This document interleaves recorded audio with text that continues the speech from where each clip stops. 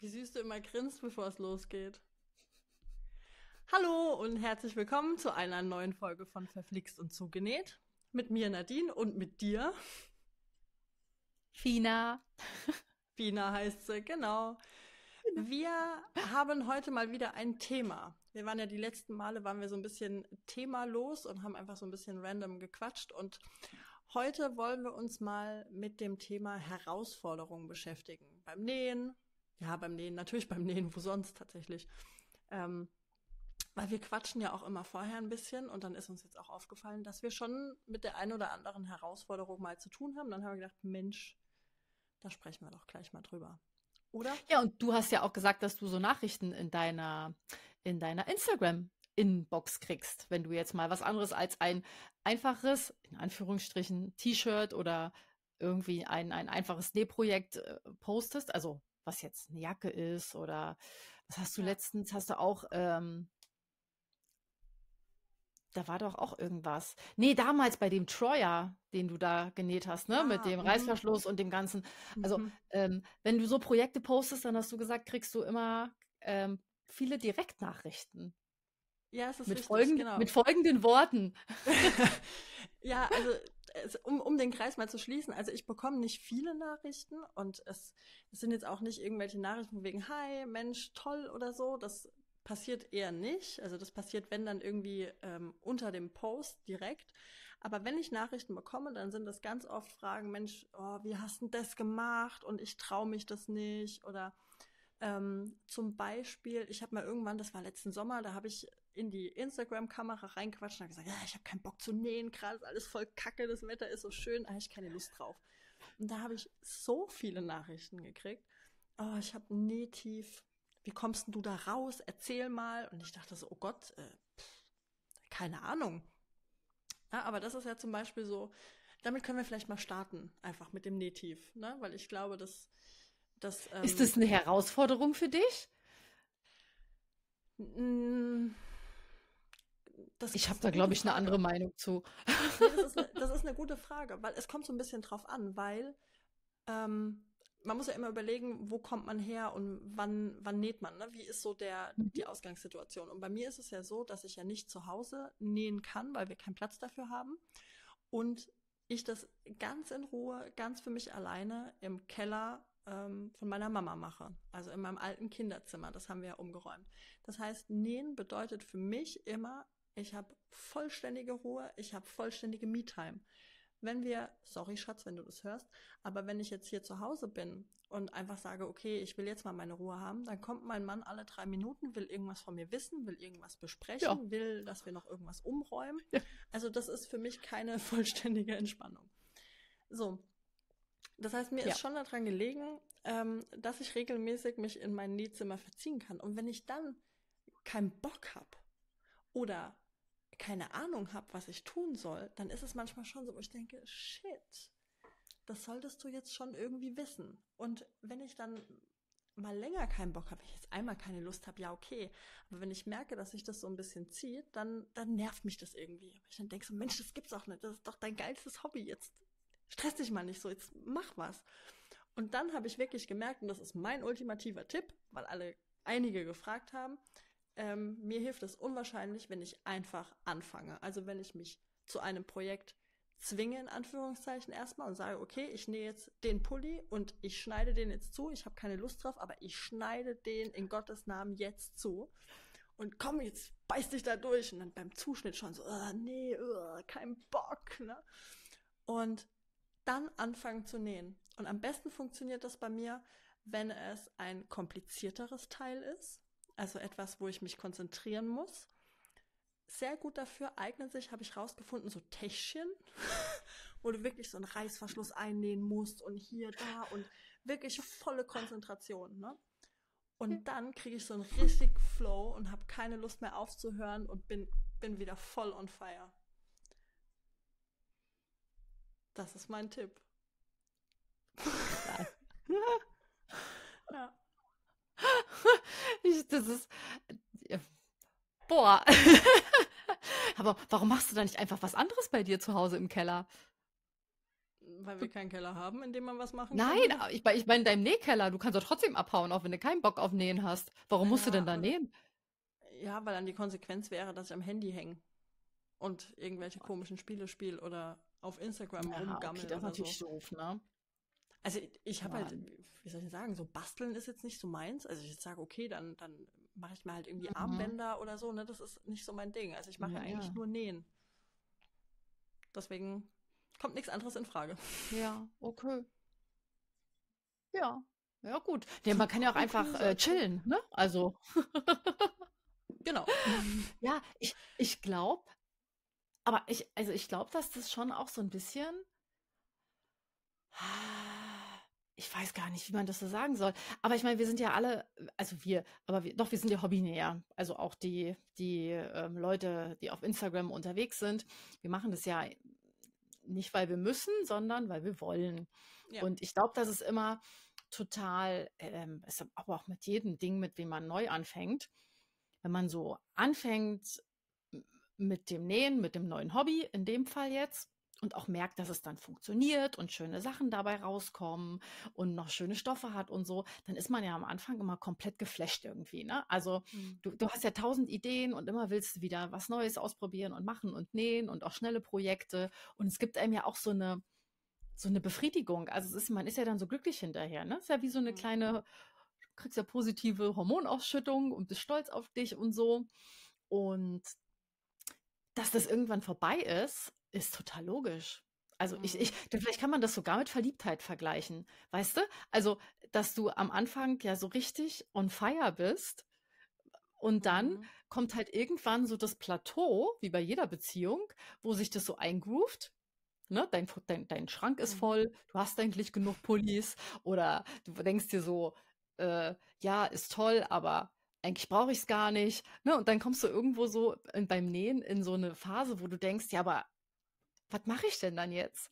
Was, weißt du, Ja, ich will ja. und aber eigentlich, ähm, und ich finde das auch völlig, völlig okay, weil man kann nicht immer so nähen wie am Anfang, weißt du? Also, so. Und ich glaube aber, dass man so diesen, dieses, A, den Tatendrang hat, also allein diese Kreativität, du willst ja dann irgendwie ausleben, ne, was Mhm. erschaffen, was Schönes machen, auch was für dich. Es ist ja, ne, wie es jetzt für dich die, die, der Freiraum gekoppelt mit deinem Hobby ist. Also, dass du ja beides zusammen für dich dann genießen kannst. Genauso ist es ja, es ist irgendwie immer so, wenn irgendein tolles Teil unter der Maschine vorhopst, ist man ja stolz auf sich und man ist ja glücklich. So, und wenn du das dann, wenn du plötzlich nicht weißt, was du nähen sollst, dann fehlt dir so dein Glückshormon, weißt du? So dieser, Ja, ja, der Input. Und ich glaube, dass das dann viele deprimiert. Obwohl das ja eigentlich gar nicht, gar nicht schlimm ist, ne? Sondern völlig normal. Und ich glaube schon, dass das Absolut. schwierig ist für manche.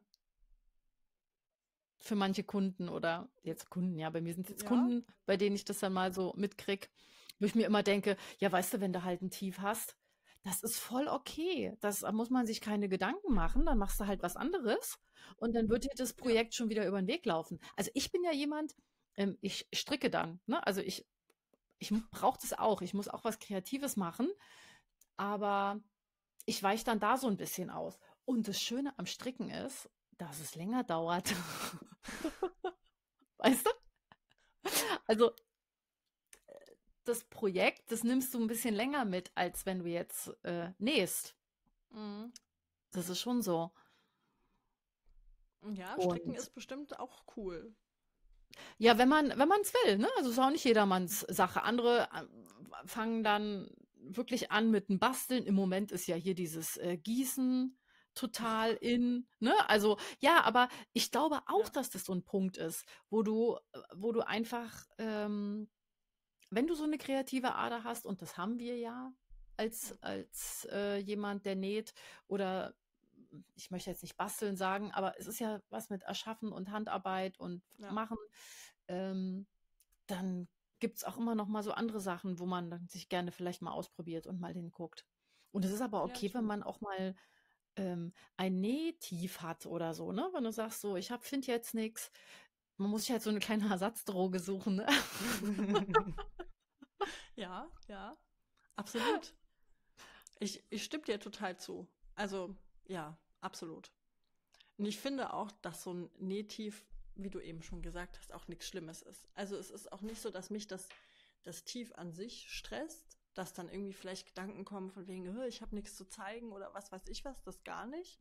Mhm. Sondern einfach, dass ich dann irgendwie denke, so, was ist mit dir los? Ne? Warum, warum hast du da jetzt keinen Bock drauf? Du hast doch gefühlt 365 Tage im Jahr Bock drauf. Warum jetzt nicht? Und ja, und das ist dann natürlich weil auch so, weil das nächste das, geile Nähprojekt noch auf dich wartet dann. Ja, ja. Also jetzt hier die, die letzten Tage, ey, das lief, die Maschine ist gelaufen wie blöd. Ich war so on fire. Wow. Ohne Scheiß, ich war, ey, mein Mann, der hat Probleme mit der Schulter oder mit, mit dem Arm oder irgendwas, dann konnte der nicht klettern gehen. Ey, ich war jeden Tag, jeden Tag bin ich gegangen, ey. Oh. völlig gestört, völlig gestört. Aber es, es ja, war, aber ich hatte sehr schön. Zehn, hast du ich hast schon ein paar Teile gezeigt, oder? Ja, ich habe schon ein paar Teile gezeigt, ja.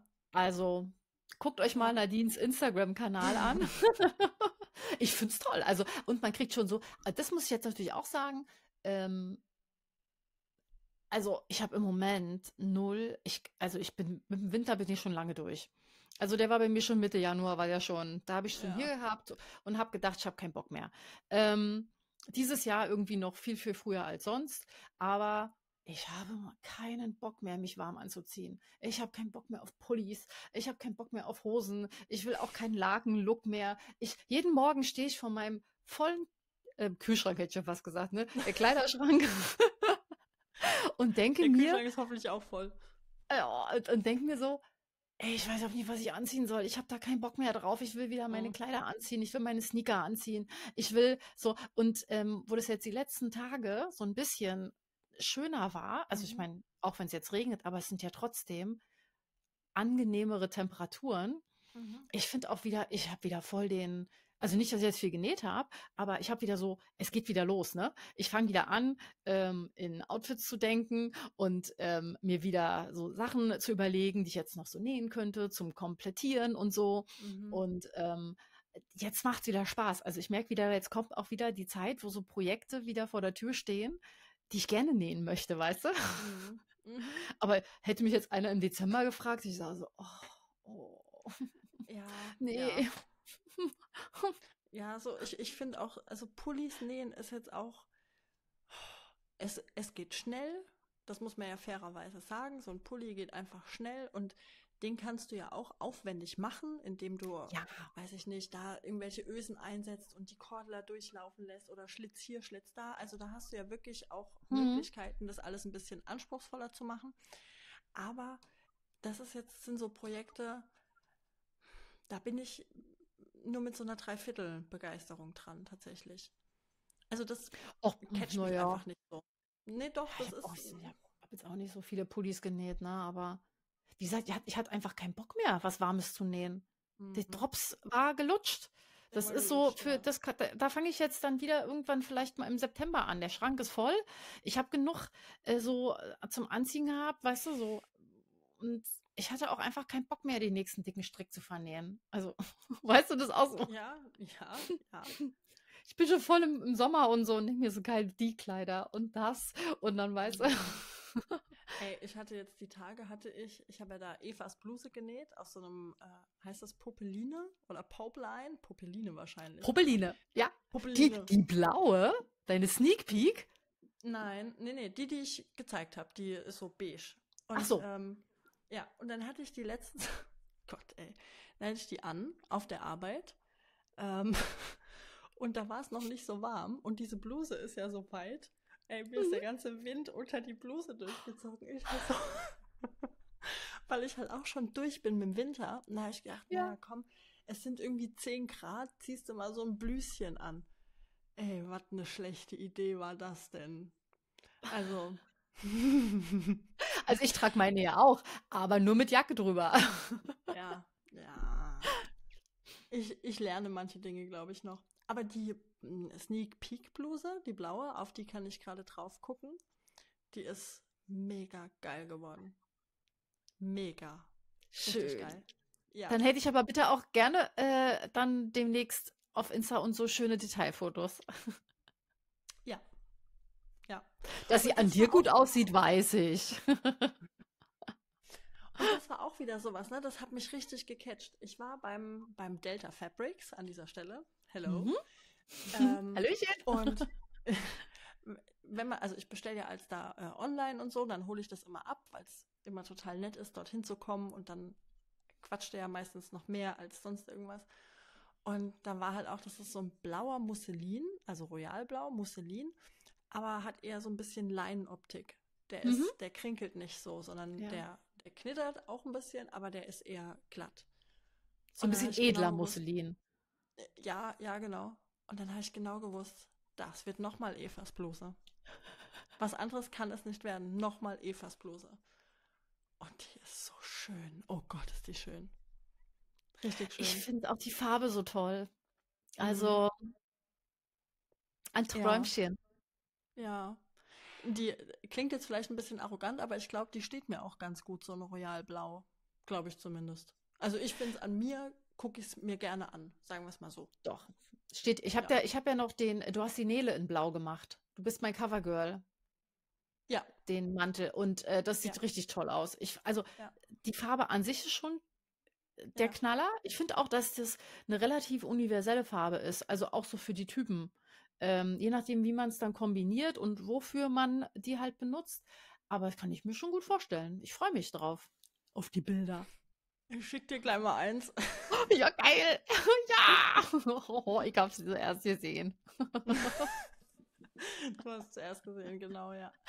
Ja, das ist, das ist so ähm, das Thema mit dem Tief, wenn man mit dem Nähtief, genau. Das Nähtief, genau. Aber was, was gibt es denn noch für Herausforderungen, mit denen du vielleicht strugglest? Gar, gar, gar nicht. Äh, ich struggle nicht. gar nicht. Ich struggle nicht, das gibt es bei mir nicht. Oh, ich struggle oft. Aber das wäre ja, das wäre ja das nächste. Ähm, wenn dann so Fragen kommen, ne, von wegen, ähm, jetzt sehen wir mal einfach mal Bluse, ne? Das ist so kompliziertes, traue ich mich nicht, ich traue mir keine Bluse oder auch bei manchen Hosen, ne? Ich traue mir keine Hosen zu nähen, ähm, weil das sieht so kompliziert aus und so. Ah, da kann, da kann, also, also als allererstes sage ich immer, das ist nicht kompliziert. Also ja. es ist vielleicht aufwendiger, das möchte ich gar nicht abstreiten. Ne? Also es mhm. braucht halt äh, vielleicht ein bisschen mehr Zeit, mehr Ruhe, ähm, mal mehr ein Gläschen Prosecchi nebenbei oder irgendwie, weil, damit die Naht besser flutscht. Aber mhm. ähm, zum, also wir machen das ja auch, weil wir gerne neue Dinge lernen möchten. Das glaube ich zumindest. Ich glaube nicht, dass man ewig glücklich ist, wenn man den 448. Pullover oder das T-Shirt einfach nur so durchrattert.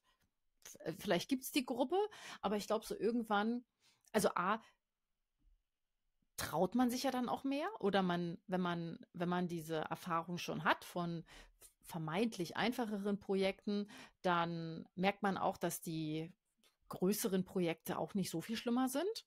Ne? Mhm. Ähm, und es macht ja auch Spaß. Ne? Da, da, kommt jetzt eher eigentlich dieses Thema, der Weg ist das Ziel. Also auch mal durchzuatmen und halt zu genießen, wenn du einfach so ein Rückteil zum Beispiel schön raffst, dass du wirklich nochmal guckst und einfach nochmal schaust und ja. dir die Zeit auch nimmst, ähm, Sachen in Ruhe zu machen und einfach auch mal ein Stück weit genießen, dass es eben nicht so schnell geht. ne? Ja. Also das finde ich ganz cool. Ansonsten finde ich Anleitungen einfach wichtig.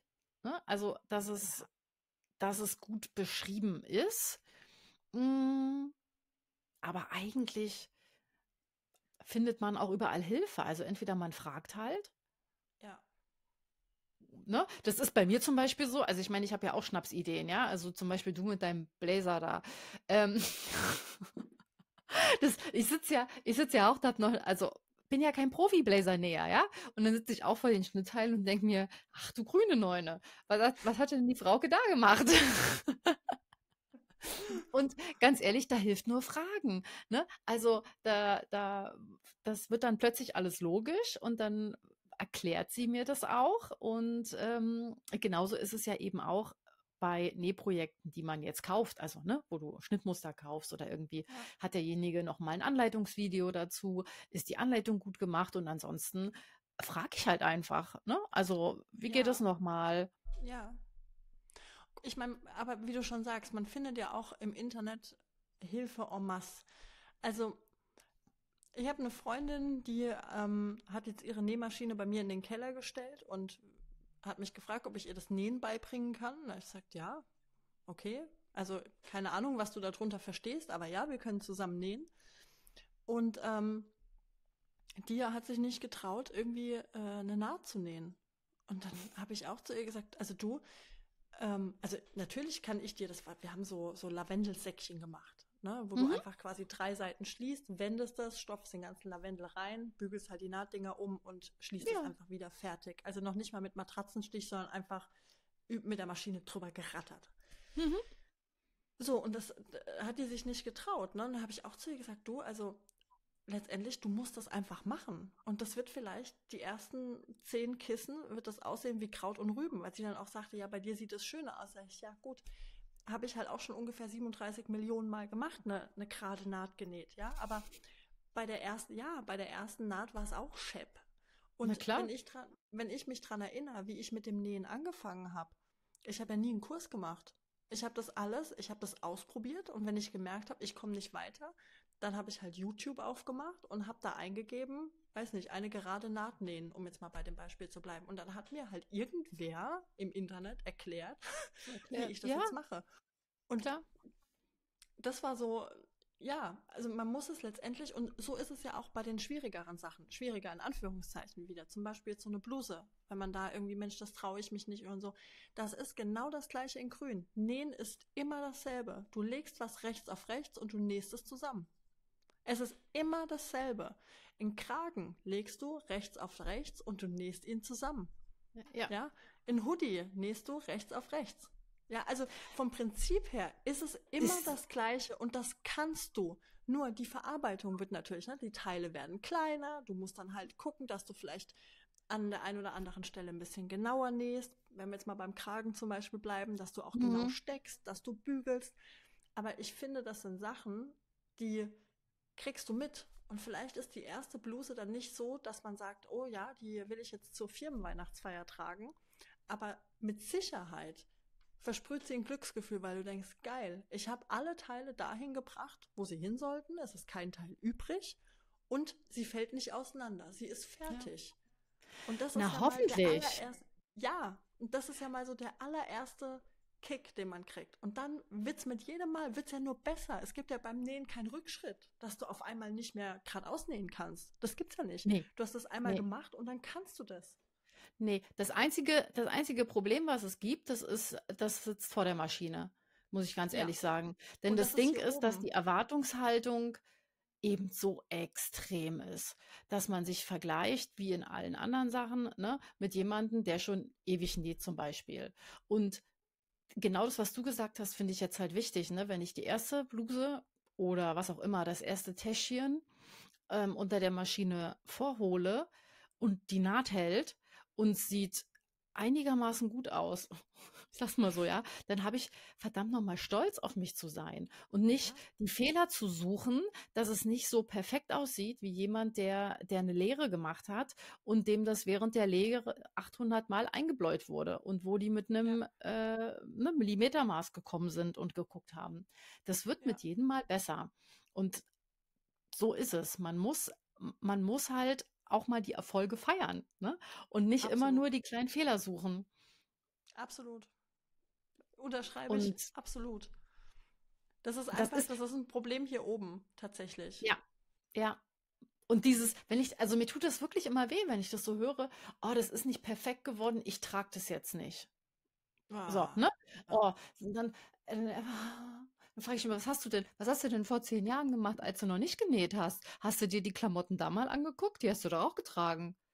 Mhm. Und Ja. da war auch nicht alles perfekt, ne? So. Und es sieht ja keiner. Mensch, wenn der Kragen unten, hier hinten, wenn da ein bisschen was ist und du weißt es, aber wer guckt dir denn hinten unter den Haaren, im Nacken, unter den Kragen? Niemand. So. Niemand. Der, der da hinguckt, ja, der darf es auch sehen. Absolut. Aber ich glaube, ich habe das schon mal gesagt. Ich bin ja auch so ein Kandidat. Ähm, also, wie soll ich denn sagen? In den, Im sichtbaren Bereich will ich auch, dass es richtig gut aussieht. Also, das ist mir dann auch schon wichtig. Was jetzt zum Beispiel auch keiner sieht, ist bei Evas Bluse, bei der ersten, die ich gemacht habe, aus Popeline. Ähm, ich weiß gar nicht, ob da die Anleitung schon da war oder nicht. Auf jeden Fall habe ich da die, ähm, die Passe nur einmal zugeschnitten gehabt. Und dann habe ich gemerkt, ah, okay, die soll quasi doppelt gemacht werden und dann mit dieser Burrito-Methode genäht mhm. werden. Okay, also habe ich, ich hatte noch so ein kleines Stück von dem Stoff übrig und habe das da drauf gelegt und habe die ausgeschnitten und dann habe ich gesehen, dass mir einfach oben so ein großes Teil fehlt vom Ärmel. Den habe ich abgeschnitten. Ich dachte, scheiße. Kannst du jetzt halt auch so nicht zusammennähen, weil dann passt das alles nicht mehr. Aber ich hatte nicht mehr genug Stoff, um nochmal dieses Teil auszuschneiden. Also mhm. habe ich dieses kleine Ding, was fehlt, habe ich abgemessen und habe es halt nochmal ausgeschnitten mit einem Zentimeter Nahtzugabe, habe das quasi an die Passe dran genäht. Geil! Und eigentlich war der Plan, ähm, dass diese Naht, wo ich das zusammengenäht habe, dann natürlich innen ist und man dann von innen quasi einfach nur sieht, dass es da halt eine Naht gibt. Habe ich aber beim Nähen vergessen oder ne, wie auch immer, habe dann quasi gemerkt, dass diese hässliche Naht in Anführungszeichen dann nach dem Wenden doch außen ist, also nicht außen oh. hinten, sondern außen ah. innen drin. Ja, ja, ja. Und habe dann und habe dann auch gedacht, ach komm, was soll's, ich mache das jetzt nicht nochmal auf, weil wenn ich die Bluse trage, diese hässliche Naht guckt meinen Rücken an. Das sieht ja. niemand, niemand, weil ja. außen war ja das richtige Teil, das ganze Teil. Also ich poste das auch mal sehr gerne in der Instagram Story. Dann könnt ihr euch dieses Desaster mal angucken. Aber mach mal sieht, bitte. Ja, ich mach das. Aber das, das, sieht kein Mensch. Es sieht einfach keiner. Es, nee. Mein Rücken ja. sieht es. Fertig. Ja, aber es gibt genug, die jetzt sagen würden, ich ziehe es dann nicht an, weil ich das weiß. Denke ja, ich mir so, ja, schön. Quatsch. Ja. Das ist Quatsch. Ich würde verstehen, wenn man jetzt irgendwie den Kragen total versaut hat, ne? Und der auf der einen Seite länger ist als auf der anderen oder die Knopfleiste, was weiß ich da irgendwas ja. passiert ist oder ein Loch vorne drin. Das hat man reingeschnitten. Dann würde ich sagen, okay, das verstehe ich, weil das sieht jeder sofort und das wäre mir dann mhm. auch wahrscheinlich unangenehm. Aber so Sachen, die kein Mensch sieht, weil die irgendwo innen sind oder sonst wo, wie du eben gesagt hast, unterm Nacken, unter den Haaren, ja, so what? so what? Das macht ja. das Teil nicht weniger wertig. Gut, ich werde jetzt, wenn ich jetzt irgendwann mal meinen Kleiderschrank ausräume, würde ich diese Bluse halt niemals verkaufen. Ne? Also die würde halt sang- ja. und klanglos dann im Müll wahrscheinlich verschwinden oder jemandem vererben oder so. Ne? Mhm. Würde ich halt niemals an die breite Masse geben. Ähm, aber ansonsten, die Bluse sieht doch voll geil aus. Das sieht doch keiner. Ja, ja, ja, genau.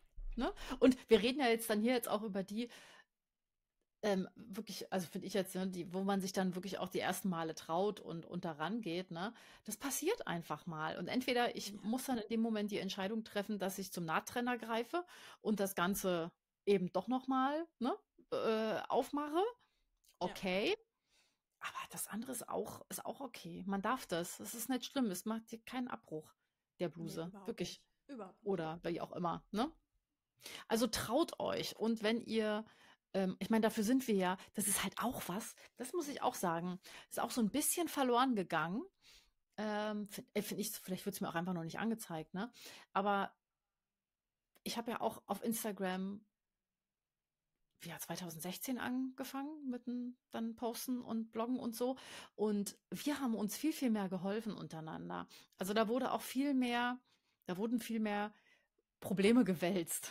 Ne? Also so mhm. Fragen, ne, wo du dann irgendwas postest und sagst, ah, wie soll ich das jetzt lösen? So wie du mit den Knöpfen gestern.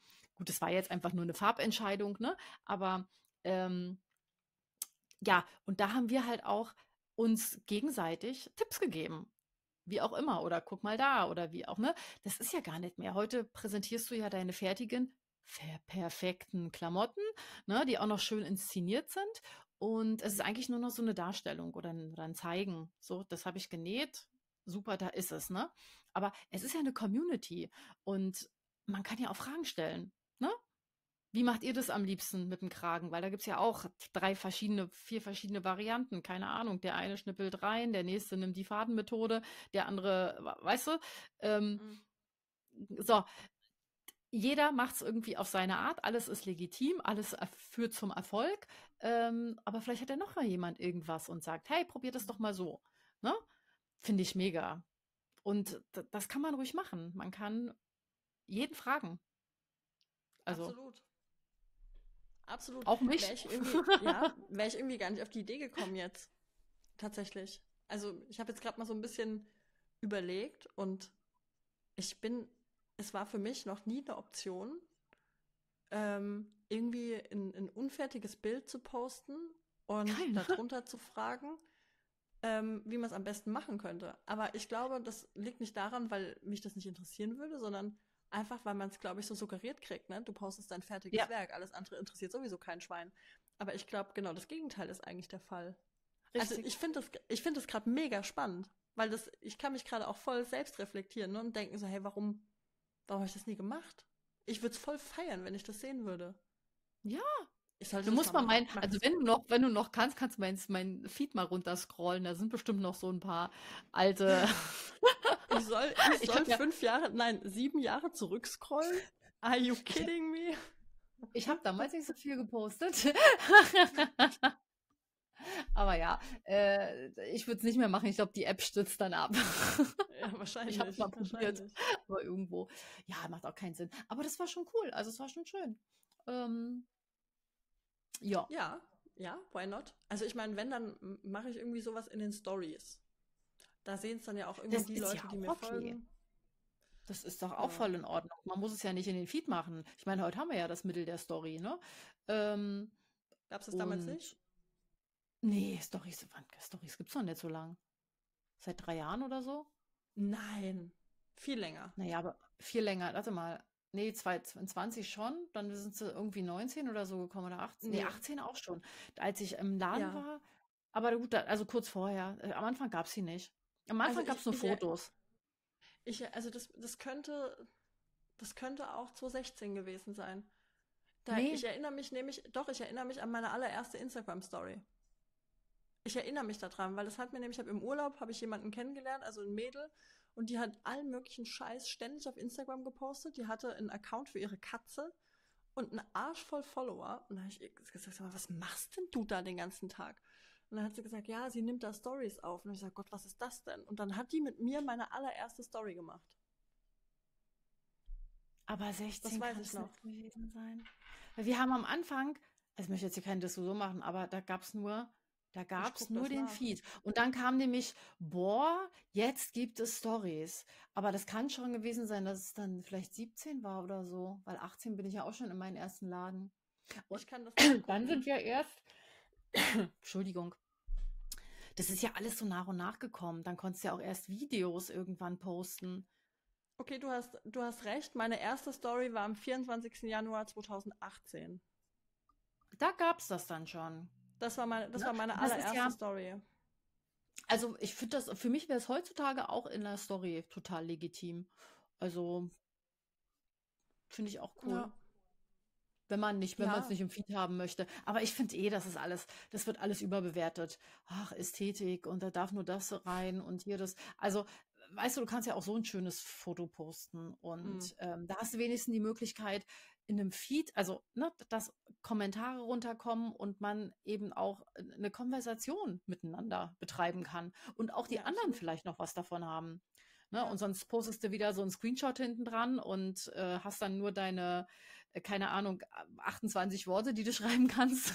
Ja, dann ist der Sticker weg. ja, das stimmt. Also, ja, ich glaube, man nimmt das alles so ein bisschen zu ernst. Es ist eine Community. Wir sind Absolut. da zusammen. Ja, das stimmt. Und eine ziemlich ja. coole, finde ich. Ja.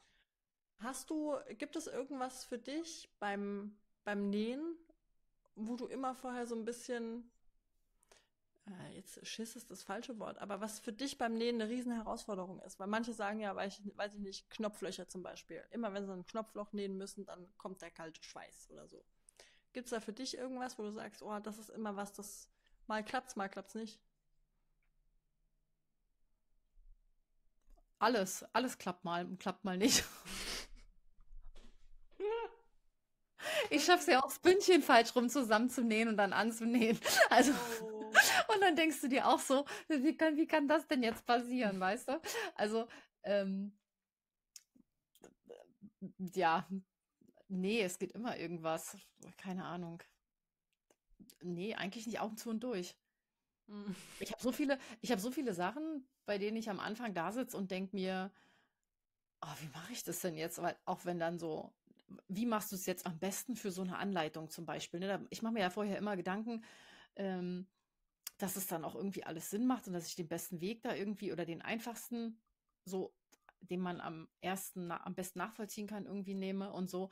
Ähm, und da geht mir auch immer was schief, ja, wenn, wenn ich irgendwo in der Hose mal einen Reißverschluss einnähe oder so, da muss ich jedes Mal gucken. Je, das geht mhm. mir nicht einfach von der Hand. Ja. Das, jedes Mal muss ich gucken, wie an der Hose der Reißverschluss eingenäht wird. Ich Aber auch. es sind ja nur drei oder vier simple Schritte. Die sind zwar ein bisschen anders als sonst, also als beim jetzt, keine Ahnung, bei einer Tasche oder wie auch immer, ne?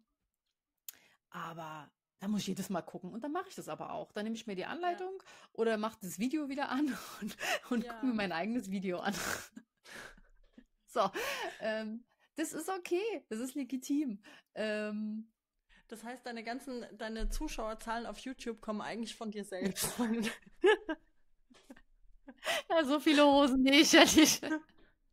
Weil du dir quasi nee. deine eigenen Videos nochmal angucken Ich mache ich mach ehrlicherweise wirklich eher, äh, nehme ich meine, meine gedruckten Anleitungen. Das Problem ist, ich kann mir ja auch den Podcast hinterher nicht angucken oder Echt? anhören. Weißt du, die eigene Stimme und so. Genauso ist es bei den Videos.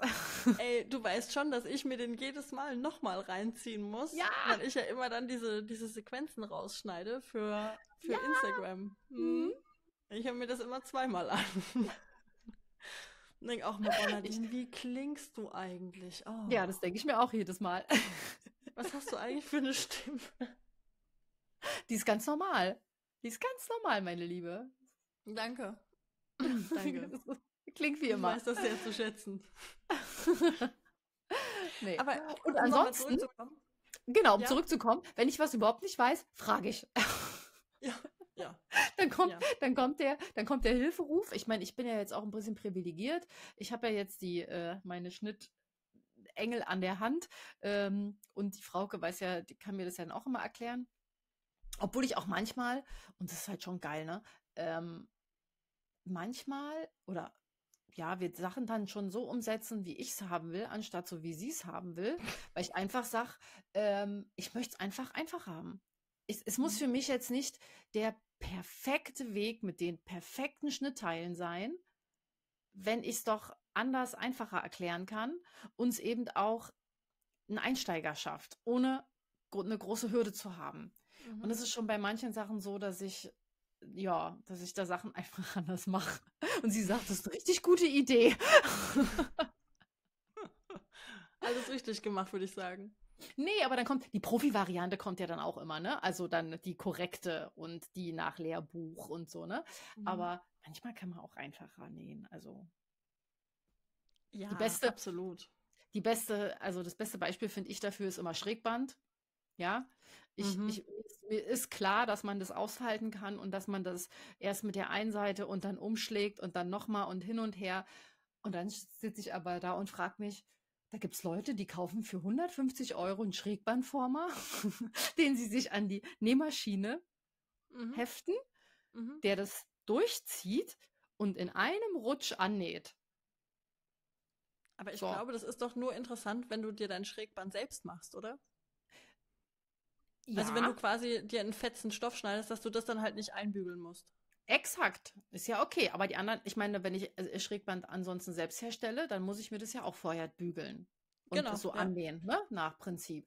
Und dann denke ich mir so, ja, wenn mein Schrägband doch aber so toll gebügelt ist, dass ich das auch einfach so an die Kante anlegen kann. Warum soll ich es denn da nicht annähen? Ey, ich mache das auch so. Das mit dem ja, erst die also, eine Seite annähen und dann umklappen, ey, das wird nie was. Und ich mache das Schrägband, ich bügel das immer noch mal in der Mitte noch mal drüber, ja, dass die Mitte genau. quasi noch mal ordentlich gebügelt ist und dann ja. wird es angelegt. Da wird auch nichts festgesteckt. Weil wenn, wenn das, das gut ist, ja. wenn du das auch so ein bisschen ziehst, dann legt sich das auch irgendwie so um den Stoff drumherum. Das geht viel einfacher. Das ist perfekt, ja. Ja. Und ich gebe durch, ich gebe zu, ja, es ist nicht die klassische Art und Weise, aber ey, sie funktioniert doch. Und es wird ja. bei mir nicht schlechter als mit der anderen Variante. Nee. nee. Und da kann jeder machen, was er will, ne? Aber das ist auch so ein Beispiel, wo ich mir denke, hm, nee, mache ich so. ja, pff, völlig legitim. Ja. Und was ich aber noch äh, mal sagen wollte, da musste ich nämlich gerade, als meine Freundin da war zum Nähen, musste ich gerade dran denken. Ähm, ich finde, das ist jetzt meine Meinung, wenn man mit dem Nähen beginnt, dann stattet man sich ja aus und dann kauft man Nähbücher. Also zumindest war das bei mir so. Ich habe mir Nähbücher gekauft.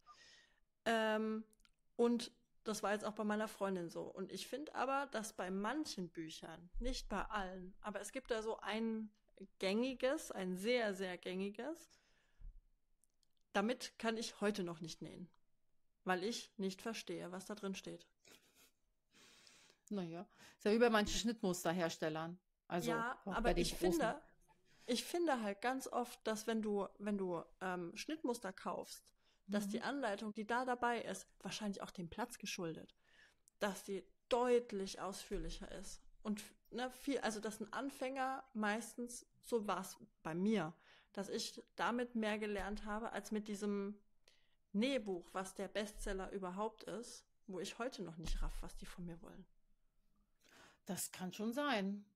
Also, ich bin jetzt nicht so der Nähbuch-Freak, auch wenn ich eins gemacht habe. Was aber, by the way, sehr gut beschrieben ist. Nee, doch, muss man schon sagen. Muss man schon sagen. Deswegen, es sind, es sind ja nicht alle Bücher schlecht. Ne? Ja. Also so will ich es ja gar nicht sagen. Ja. Ich glaube auch, also gerade so die, äh, also die Bücher, die ich jetzt auch so von, von, von Nähtanten gesehen habe, ich sag's mal ganz blöd jetzt, ja, äh, von uns, sowas wie mich, ne? Vielleicht liegt es aber auch daran, dass wir äh, die die Community ein bisschen besser kennen oder die Zielgruppe. Weißt du, ich weiß es nicht. Ne? Ich weiß ja nicht, von welchem Buch du da gerade redest. Wollen wir mal außen vor, außen vor halten. Aber manche sind halt schon sehr so von oben herabgeschrieben oder sehr, ähm, sehr kurz gehalten oder so. Wie bei vielen, manchen Anleitungen, ne, wo du einfach sagst, das, da, da kann ich auch nicht nähen mit lernen. Oder ich weiß nee, nicht, was es, die will. Genau, das, es, die sind einfach kurz gehalten. Und ich finde, gerade wenn du anfängst oder dir noch irgendwie unsicher bist und sagst, Mensch, ich traue mich das nicht, dann brauchst du einfach eine sau ausführliche Anleitung. Die muss einfach gescheit bebildert sein. Ähm, vielleicht auch mit einem Stoff, wo man ähm, auch gut sieht, was man macht. Also jetzt vielleicht nicht irgendwie ein schwarzer, ne, sondern mhm. irgendwie was Knalliges, wo man einfach sieht, welche Nähschritte da gemacht werden. Ähm, und im Idealfall hat das Ding noch eine Videoanleitung, wo du dann einfach nochmal Schritt XY dir anschauen kannst. Und ich finde halt als Anfänger bei manchen Büchern, da haben wesentliche Schritte gefehlt oder auch Punkte gefehlt, wo ich gar nicht wusste, wie ist sie denn da jetzt hingekommen, mhm. beispielsweise. Was ja. natürlich heute dann schon klarer ist, weil du einfach weißt, ah ja, okay, ne, du musst es jetzt einfach noch kurz irgendwie, weiß ich nicht, einmal rumdrehen oder so. Ja. Ähm, keine Ahnung, jetzt ganz banal. Ähm, aber das fand ich, für mich war das eine Riesenhürde damals. Eine Riesenhürde. Naja. Aber es gibt ja viele Möglichkeiten, nähen zu lernen heutzutage. Ja, also ich glaube, so viele Möglichkeiten gab es auch noch nie. Ähm, da dürfte eigentlich jeder seine Art finden. Also es wird, werden ja auch wieder viele Nähkurse angeboten. Ja, du ja. kriegst, äh, wo du wirklich vor Ort hingehen kannst. Ähm, es gibt äh, so viele Online-Kurse, die man machen kann ähm, wie gesagt, wenn du äh, Bock und Zeit hast und Nerven, muss man auch ganz ehrlich sagen, also ich sag mal so, sich das irgendwie selber zusammenzusuchen, das Wissen, ist schon auch anstrengend. Und äh, mhm. es ist auch nicht so easy. Und ich verstehe die Leute, die sagen, boah, ich habe keinen Bock, mich durch YouTube zu klicken oder so. Natürlich findest mhm. du alles, aber du weißt ja auch nicht, brauche ich jetzt genau das oder das. Ist halt wieder Try and Error. Faktisch ja. findest du alles, mhm. aber ähm, es gibt so viele Möglichkeiten und jeder findet eine. Absolut. Und ich finde auch gerade für den Anfang, wenn man einsteigt, finde ich einen Nekos echt cool, weil man kann sich so viel Zeit sparen. Wie du eben gesagt hast, ne? diese ganze YouTube-Klickerei und was ist eigentlich rechts auf rechts und was bedeutet im Bruch und oh mein Gott. Ähm, also es ist einfach Ja. gut investiertes Geld, ganz ehrlich, so ein Nähkurs, dass du einfach die Basics kennst, weißt, wie es ungefähr läuft, wie kriege ich meine Maschine dazu gerade zu nähen und wie sind die Begrifflichkeiten. So, Ja. und dann läuft's auch. By the way, ich habe ja wieder einen Nähkurs, ne? Übermorgen. Ja, gibt's, du machst Nähkurse auch? Das weiß Ja. ich tatsächlich gar nicht. Du machst Nähkurse auch. Ja. Zu, zu bestimmten Projekten oder einfach so offene Nähkurse, wo man seinen Nee, eigenen, ganz normal. Also bei stinknormal. Wir haben den ähm, Anfänger-Nähkurs aktuell, wir haben einen Overlock-Kurs und einen Kindernähkurs, der immer wieder Ah, regelmäßig kommt und cool. auch gut angenommen wird, ja. Ähm, sowohl online als auch, also sowohl offline als auch online. Also ähm, finde ich auch ziemlich cool eigentlich. Ähm, Kunden buchen die auch so und das finde ich auch schön. Ne? Also wir haben ja sehr, sehr viele Projekte drin und find, ich finde mein, ich find meine Kurse auch gut aufgebaut. ähm, aber nee, das ist schon so und jeder, mh, jeder findet halt sowas. Aber ich, gerade so die Einsteigerkurse sind mir halt wichtig. Und danach sage ich zu meinen Kunden eigentlich immer, danach kannst du zum Nähwochenende kommen. Mhm. So, da lernst du mehr, als wenn du dir irgendwie, ähm, ja, ne? Als wenn du jetzt nochmal 28 Kurse buchst irgendwie.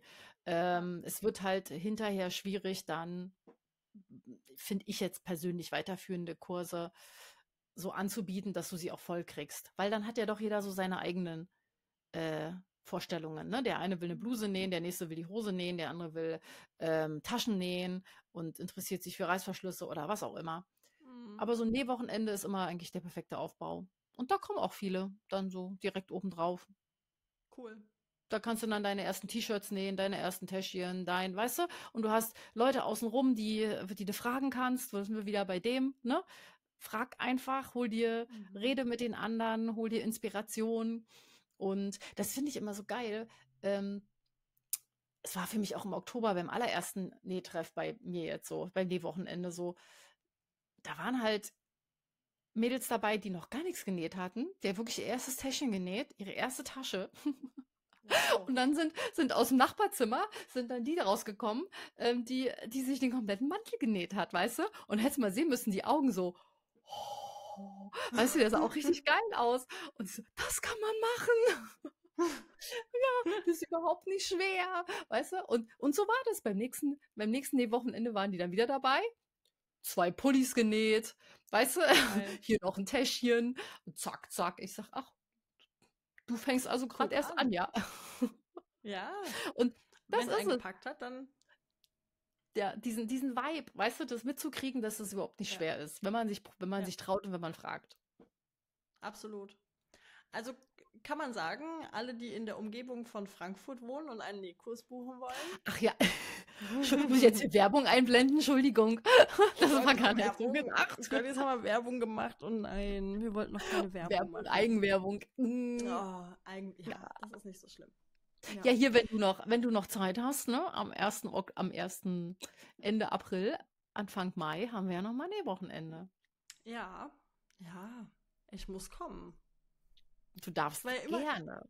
Ja, ja, ich weiß. Lass uns gleich, wenn wir hier auf Stopp gedrückt haben, lass uns Ja. gleich nochmal. Ja, machen wir. Oh, wir haben hier schon 48 Minuten. Ja, oh Alter. Verwalter. Ja, es ging runter wie Öl, das Thema, sag ich dir. Ja, ja, ganz richtig runter. Dann würde ich sagen, verabschieden wir uns einfach mal, machen wir hier mal Stopp. Alles Nicht, klar. dass uns die Themen ausgehen.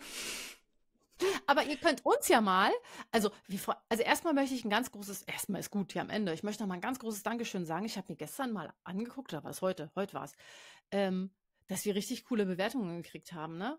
Also ähm, ganz, ganz lieben Dank dafür. Ich habe ich hab bei Apple reingeguckt und bei Spotify und fand es total genial. Also ihr dürft uns gerne eine Bewertung dalassen, wenn es geht positiv.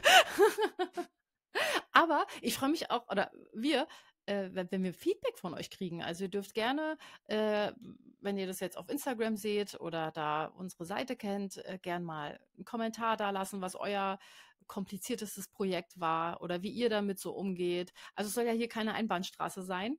Ähm, wir freuen uns da auch tierisch drüber, eure Erfahrungen zu hören. Absolut. Ja. Und damit sagen wir bis zum nächsten Mal. Genau. Bis dann. Ciao. Bis dann. Ciao.